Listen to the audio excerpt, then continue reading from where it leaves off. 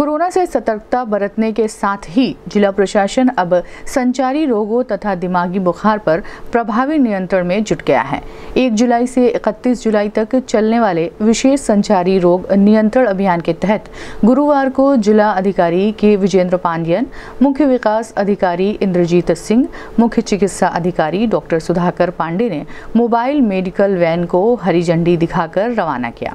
इस संबंध में जिलाधिकारी के विजेंद्र पांड्यान ने बताया कि 1 जुलाई से 31 जुलाई तक एक माह का संचारी रोग नियंत्रण अभियान शुरू किया गया है। इस दौरान घर घर जाकर लोगों को जागरूक करने का कार्यक्रम किया जाएगा।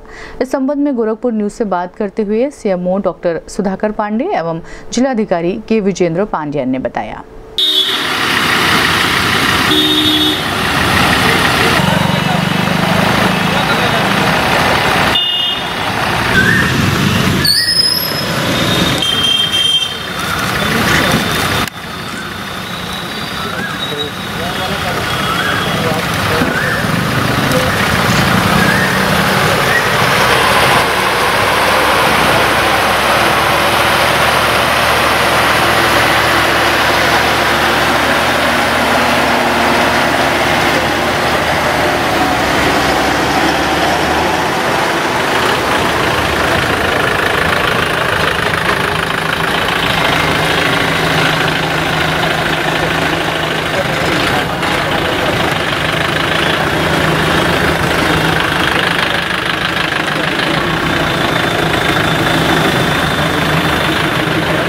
आज पहली जुलाई से इकतीस जुलाई तक संचारी रोग नियंत्रण अभियान चल रहा है। पूरे महीने चलता रहेगा।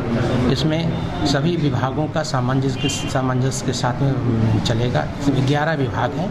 टोटल जो कि हमारे वातावरण को सुरक्षित रखते हैं, स्वस्थ रखते हैं और हम लोगों का इलाज करते हैं। इस तरह से ग्यारह विभाग हैं जो मिलकर के काम कर रहे हैं। इसी बीच हमारा बारह जुलाई से दस्तक अभियान भी चलेगा। हमारी आशा है एन जो है घर घर जा कर के केस आइडेंटिफाई करेंगी। अगर कोई बीमार है, किसी को बुखार है तो उनको नियर अस्पताल पर ले जाएँगी, उनका इलाज कराएँगी। देखिए, आज से एक जुलाई से हम लोग संचारी रोग नियंत्रण माह शुरू कर रहे हैं। वैसे आप जानते हैं, हर साल हम लोग इसी मौसम के आसपास, यानी जो वैसे हम लोग का तैयारी तो मार्च से ही शुरू हो जाता है बट विशेष अभियान के तौर से हम जून, जुलाई में करते हैं ताकि बरसात के साथ साथ बहुत सारे संक्रमित रोग आ जाता है।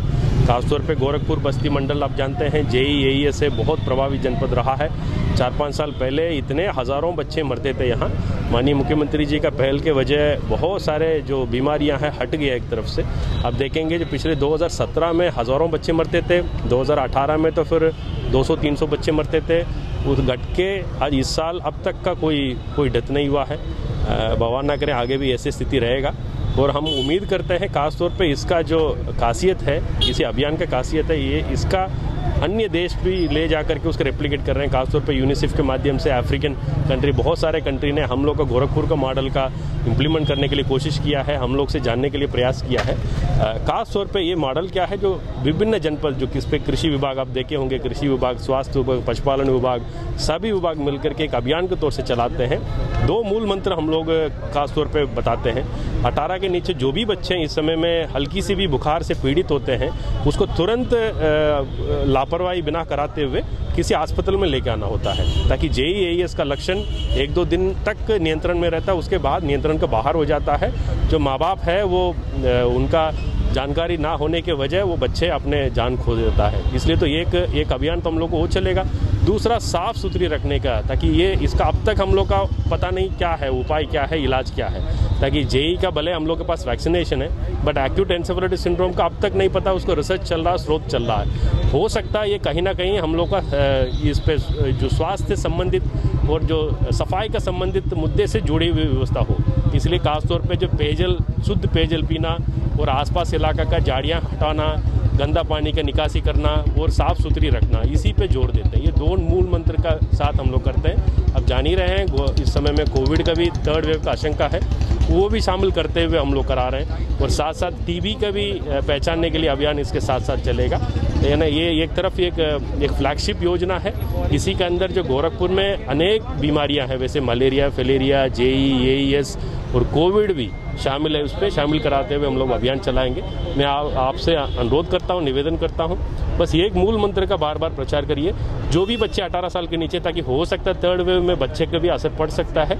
इसका हल्की भी ज़रा से भी बुखार है और कोई तबीयत खराब होता तो तुरंत आप 24 घंटे के अंदर किसी न किसी पीएससी सीएससी किसी हॉस्पिटल में लेके आए ताकि हम जान बचा सकें। जी, ये ये देखिए, ये हम लोग का एक एक एक सक्सेस स्टोरी कह सकते हैं, ताकि गोरखपुर प्रशासन और जो जो यहाँ उत्तर प्रदेश का प्रशासन मिलकर लगातार आप लोग भी सहयोग किए हैं इस पर इस पर दोहराई नहीं है, जो हर बार, हर गाँव में पता है जेई मतलब क्या है यही एस मतलब क्या है, लक्षण क्या है।